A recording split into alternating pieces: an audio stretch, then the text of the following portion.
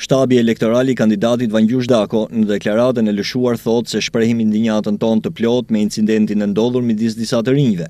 Ne distancohemi plotësisht nga çdo akt dhune apo gjest që devijon nga filozofia jonë pozitive e fushatës dhe e komunikimit dhe sjelljes elektorale, vijon më tej deklarata e shtabit elektoral të kandidatit socialist Dako.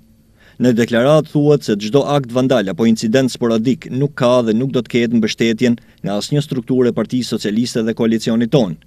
Ne besojmë që politika duhet t'i bashkojë dhe jo ndajë qytetarët. Ne besojmë në qytetari dhe sjellje në shërbim të qytetarëve, ndaj cilido individ që dëshmon për sjellje tjetër nuk do të jetë i mirëpritur në familjen tonë politike.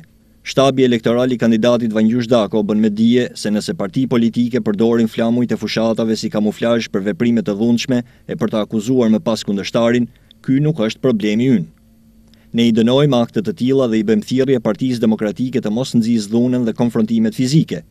Fushata zgjedhore për kryetarin e Bashkisë së Durrësit është dhe duhet të mbesë një garë ku të mbizotërojë forca e ideve, jo ideja e forcës. Në fund të deklaratës, Aleanca e Shqipërisë Evropiane garanton se do të bëjë një fushatë qytetare, për qytetarët, që nga fillimi i fushatës e deri në shpalljen e rezultatit, ndaj presim edhe nga pala tjetër politike të kontribuojë njëlloj me ne, në mënyrë që të vendosim një standard qytetarie ashtu siç e meritojnë qytetarët durrsakë.